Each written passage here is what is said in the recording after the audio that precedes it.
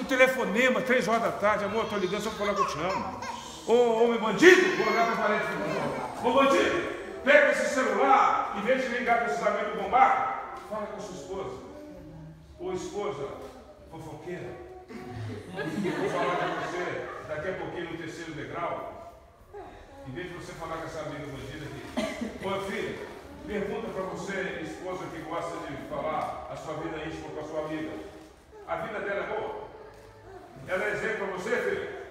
Oi? Ela é exemplo para você? Queridos, nós procuramos, sabe quem? Quem nos ouve. Não é quem resolve a nossa vida. As nossas buscas na internet, as nossas conversas fiadas na internet, as nossas perdas de tempo, de dinheiro, de caráter, e o inimigo e a potestade que a gente traz para nós, são aquelas pessoas, amigas, que nos escutam, faz tudo que a gente fala. É bandido, é falha, é bandido mesmo. Eu vou te separar dele, separa mesmo. Ela faz tudo que você quer. No dia seguinte você voltou lá. É, realmente ele é gente boa mesmo. Ué, isso aí, isso aí, filho, para isso eu não preciso desligar para ela não. Vá para o espelho, conversa com o espelho. Olha no espelho e fala, você está vendo? Eu sou certo, você está certo, vamos ver. Por favor, vamos ser verdadeiros, vamos ser cristãos, vamos ser maduros. Vamos atingir 27 anos. Você acha que 27 anos de relacionamento, 29 anos de relacionamento é só mordomia? Agora eu tenho que falar com você, meu irmão. Só está acabando com ele, porque só está cada dia mais novo e está cada dia mais velho. Isso eu tenho que falar. Isso eu tenho que falar. Parabéns. Que a senhora está tá, olha, eu até vou pintar o cabelo no seu, seu semblante. E ele está todo caidão.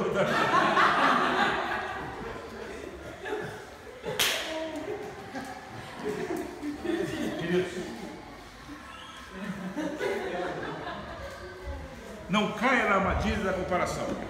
Esse é o, esse é o maior pecado. Numa terapia de casal, a primeira coisa que o terapeuta pergunta: quem que é seu marido? Sabe, meu marido é o seguinte: ele, ele me faz tudo errado, eu não sei o que, eu tenho. Se você perguntar para mim, eu, eu, é tanta coisa errada que eu não sei nem falar. Mas qual é o seu marido ideal? Ah, o marido ideal sabe o que quer? É porque eu fico vendo minhas amigas, minhas amigas, o marido cuida dela, tem carro, ele trata ela bem, deixa eu tirar a carteira de motorista. O meu marido não posso nem abrir a boca, mas ele no chão, não. Ele é trabalhador? É. E o senhor tem filho? Tem. Ele cuida dos filhos, como é que ele é? É um pai. Mas por que, a senhora não fala dele? Querido, porque a gente compara. A gente fica comparando as pessoas. Nós ficamos comparando o carro que o, o, o vizinho tem, a roupa que o, meu, que o vizinho veste, a maneira que ele faz, o tamanho que passou. Nós somos tão loucos que a gente fica comparando até o volume da sacola. Quantas sacolas tem o bandido que trouxe? É um absurdo isso, né? Não compara, não. Fala sobre eu preciso. Eu preciso. Dá valor para quem está perto de mim.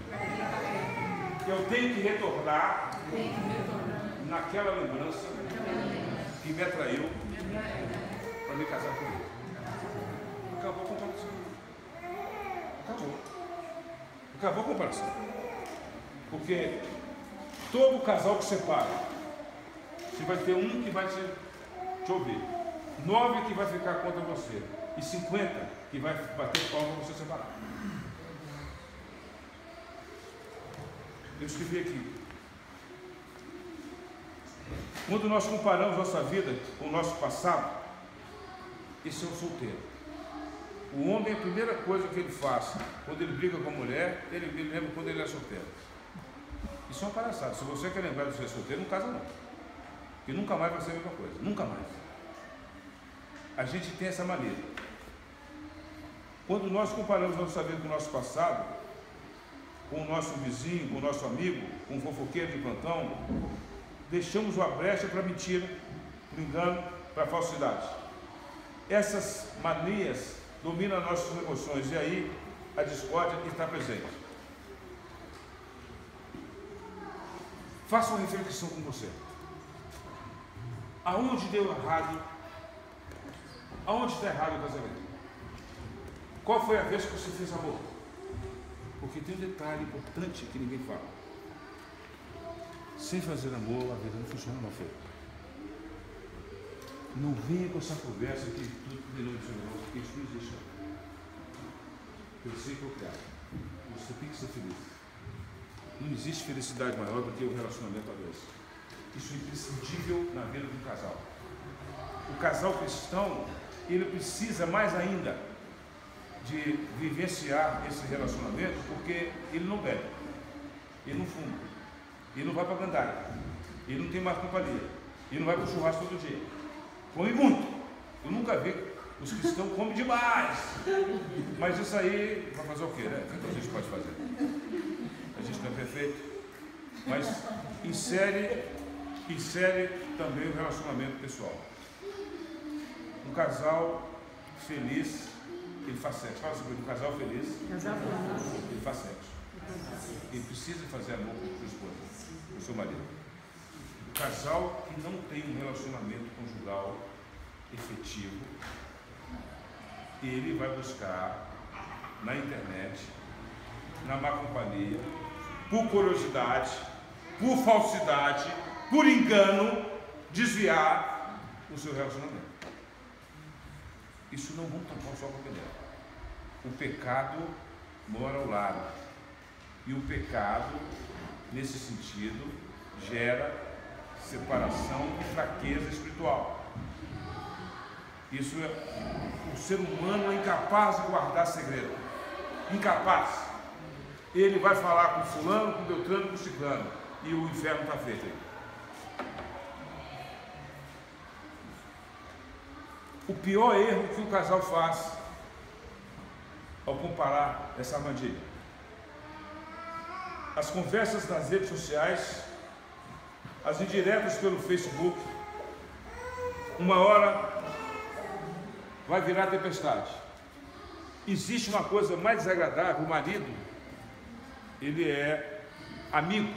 Olha para você ver que palhaçada. Nós temos um, um hábito hoje, um hábito nefasto, que o seu marido, ele é seu amigo. Ele tem o mesmo status de uma outra pessoa que não tem nada com você. A sua esposa é sua amiga, do mesmo status com outra pessoa. Porque lá não tem, você não, não aparece lá no Facebook assim, esposa falando com o marido, não. Lá é o amigo com o amigo. O amigo curte, e aí o que, que a gente faz? Os dois estão na mesma rede. Eles são amigos, estão dentro, porque o marido só quer saber o que, que a mulher está fazendo. A mulher quer saber com quem o marido está fazendo alguma coisa. Aí eles brigam. Primeira reação, 99% de quem usa a internet quem faz isso. Vai lá e posta um indireto. Marido fala que é um bom cristão e maltrata a esposa. Depois escreve assim, é, o pai não é aquele que cuida.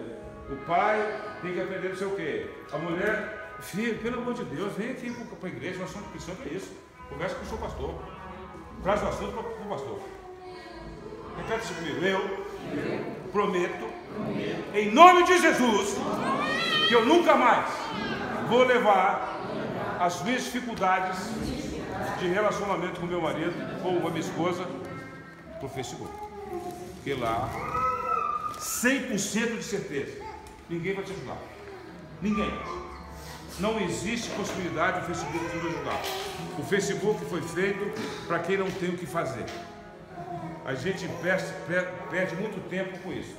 E agora ainda criaram, ainda, ainda tem o Instagram, ainda tem o tal do Twitter, ainda tem não sei o quê, e, e o pior de tudo, e tem o Zap. E no Zap tem os grupos, que eu posso ter qualquer nome. Só que eu vou dizer para vocês uma coisa.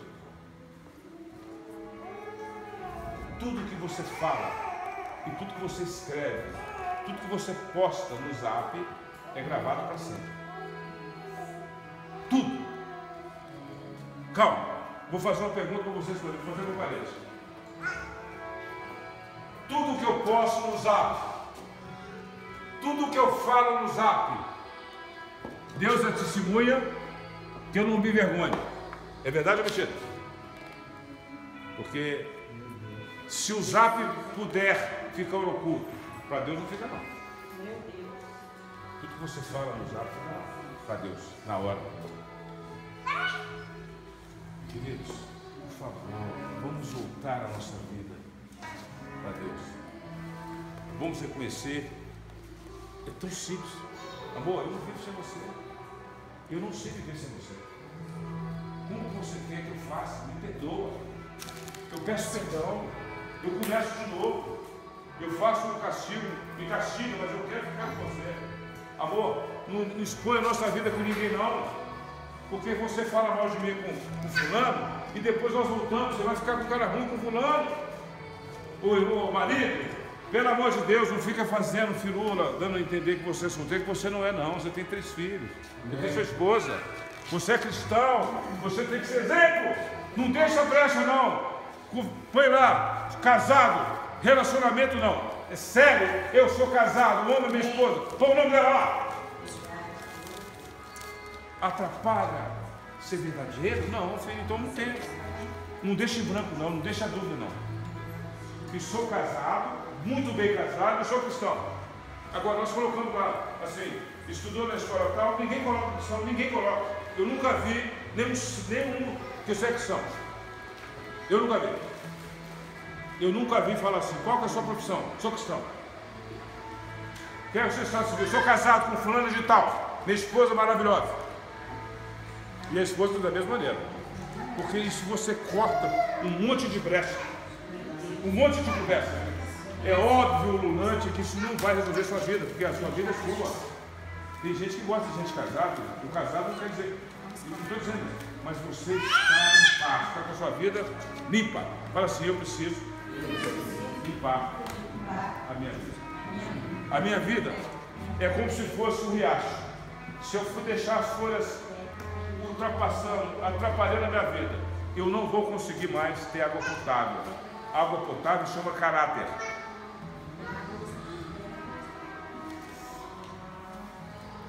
Eu vou fechar só no quadro e, vocês me convidam para me trazer mais outros quatro, tá bom? Mas o último aqui para fechar. Sonhar junto. Está aqui Amós 3, versículo 3. Desculpa. Se você não sonha junto com a sua esposa, se você não faz um projeto de vida com a sua esposa, com o seu marido, nada vai funcionar, nada.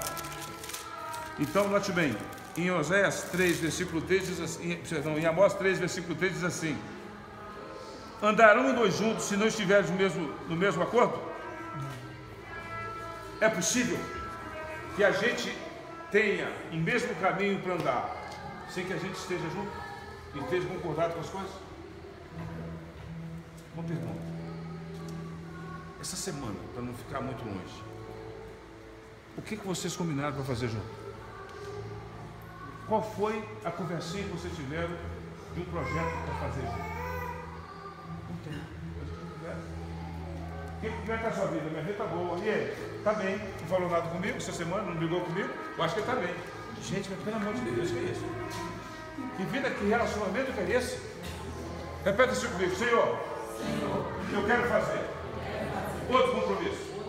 A partir de hoje. Nós somos um. Todos a semana, nós vamos nos reunirmos, depois fazer amor e fazer um projeto para outra semana. Eu já matei duas coisas uma vez aí, você. Eu sei que amar toda semana e fazer um projeto toda semana. Ah, não, filho. Então vocês não vão casar, não.